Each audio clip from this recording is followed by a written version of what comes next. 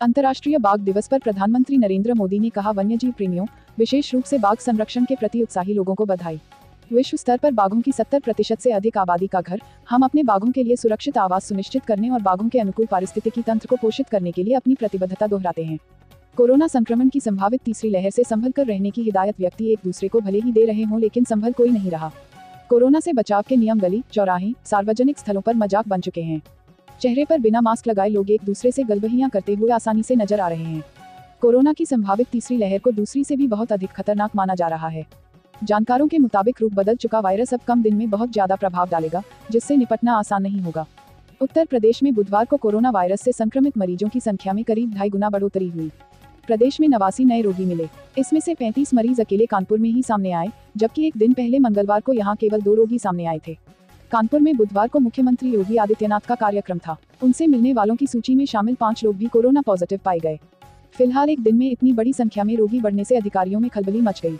उत्तर प्रदेश में पिछले 24 घंटे में जिन 18 जिलों में कोरोना के फिर से नए रोगी मिले हैं, उनमें कुशीनगर, रायबरेली, बरेली, आजमगढ़, मुजफ्फरनगर, सुल्तानपुर, लखीमपुर, खीरी अंबेडकर नगर, रामपुर, औरैया, बलिया, शामली, हापुड़, जालौन, मऊ, मिर्जापुर, बदायूं व फतेहपुर शामिल हैं। निर्वाचन आयोग ने बुधवार को अगले साल पाँच राज्यों, उत्तर प्रदेश, उत्तराखंड, पंजाब, गोवा व मणिपुर में होने वाले विधानसभा चुनावों की तैयारियों की समीक्षा की। इस दौरान राज्यों के मुख्य चुनाव अधिकारी सीओ मौजूद रहे। केंद्र सरकार उत्तर प्रदेश के एक रेलवे स्टेशनों को आदर्श स्टेशन बना रही है। इसके लिए रेलवे मंत्रालय चिन्हित स्टेशनों को विकसित करने का काम शुरू कर चुका है और ज़्यादातर स्टेशन तैयार हो चुके हैं। बचे हुए रेलवे स्टेशनों पर काम अगले साल तक पूरा हो जाएगा। आदर्श बनाए जा रहे स्टेशनों में मॉडर्न सुविधाएँ उपलब्ध कराई जा रही हैं। इनके विकसित होने के बाद पैसेंजरों को काफ़ी सुविधा होगी। देश में पहली बार व्यापारियों की जनगणना होगी। इसके ज़रिए व्यापारियों के लिए नीतियाँ, ट्रेड विकसित करने और वेलफेयर स्कीम तैयार की जाएगी। वाराणसी से इसकी शुरुआत हो गई है। इसके बाद कानपुर, लखनऊ सहित अन्य शहरों का नंबर आएगा। अभी तक कारोबारियों की संख्या जानने का मुख्य आधार जीएसटी रजिस्ट्रेशन है। इसके बाद खाद्य एवं औषधि प्रशासन द्वारा दिए जाने वाले फ़ूड लाइसेंस की संख्या को भी जोड़ा जाता है। अब व्यापारियों की अलग से जनगणना होगी। व्यापारियों की जनगणना का मुख्य command centre department of promotion and internal trade है।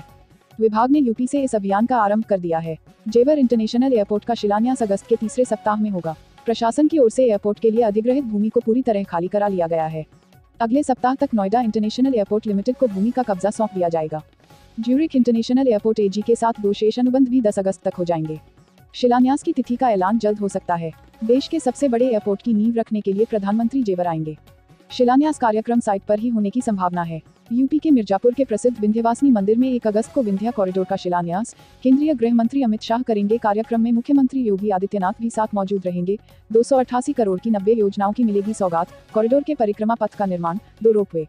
टोक्यो ओलंपिक के सातवें दिन भारत ने अच्छी शुरुआत की। स्टार बैडमिंटन खिलाड़ी पीवी सिंधु ने महिला सिंगल्स के अंतिम 16 मुकाबले में डेनमार्क की मिया को हराकर अंतिम आठ में जगह बनाई। अब सिंधु का मुकाबला यामागुची से होगा। वहीं भारतीय पुरुष हॉकी टीम ने मौजूदा ओलंपिक चैंपियन अर्जेंटीना को तीन एक से हराकर क्वार्टर फाइनल में दस्तक दी। जबकि अतनु दास तीरंदाजी में पुरुषों की व्यक्तिगत स्पर्धा में अंतिम आठ में पहुँच गए हैं। वहीं बॉक्सर सतीश कुमार ने इक्यानवे किग्रा भार वर्ग के क्वार्टर फाइनल में जगह बनाई। अवैध कोयला खनन और कारोबार के मामले की जाँच कर रही सीबीआई की टीमों ने ईसीएल के पाँच अधिकारियों के यूपी, बंगाल और ओडिशा में स्थित आवास और कार्यालय सहित कुल पंद्रह जगहों पर एक साथ छापेमारी की। ईसीएल के जीएम, पूर्व जीएम, एजेंट उप सुरक्षा प्रमुख, सुरक्षा निरीक्षक के आवास व कार्यालय पर छापे। सीबीआई सूत्रों के अनुसार बड़ी संख्या में कागजात जब्त किया गया है। आगामी दिनों में पूछताछ के लिए सभी को बुलाया जाएगा। आतंक के अलकायदा मॉड्यूल की जाँच अब एनआईए करेगी। एनआईए को मामले की जाँच सौंपी गई है। गृह मंत्रालय ने जाँच ट्रांसफ़र का नोटिफिकेशन जारी कर दिया है। अब तक यूपीएटीएस मामले की जाँच कर रही थी। लेकिन अब यह जाँच एनआईए करेगी। लखनऊ से अलकायदा के आतंकी मॉडल अंसारुल गजवातपल का खुलासा किया था। इसके साथ ही दो आतंकियों को भी गिरफ़्तार किया था। ज़मीन के नाम पर धोखाधड़ी हो रही है। लोगों को इस तरह के फ्रॉड से बचाने के लिए डीएम गौतम बुद्ध नगर ने अलर्ट जारी किया है।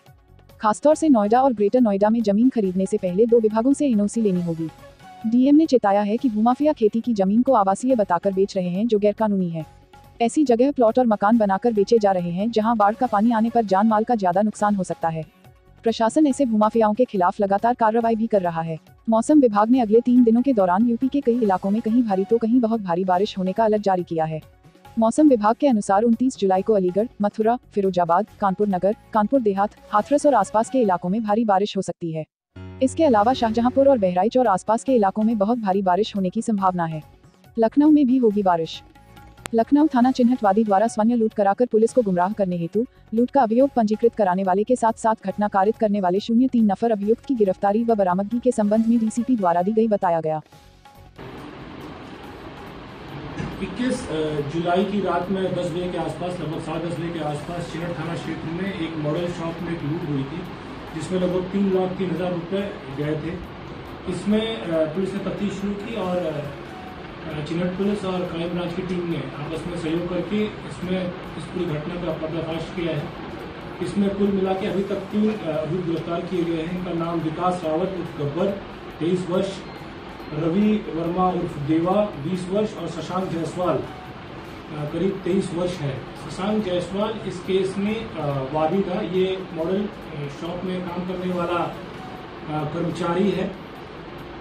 इसका इन्वॉल्वमेंट शुरुआत से ही पुलिस को इस पर शक था और भी हम लोगों ने अपने मेथड से जब इसमें जानकारी की और गहराई से जब इस पर तफ्तीश की गई तो पता चला कि शशांक जायसवाल इसका मास्टरमाइंड है। इसके साथ दो लोग अभी और गिरफ़्तार नहीं हो पाए हैं, जिनका नाम विशाल सिंह और अंकुर।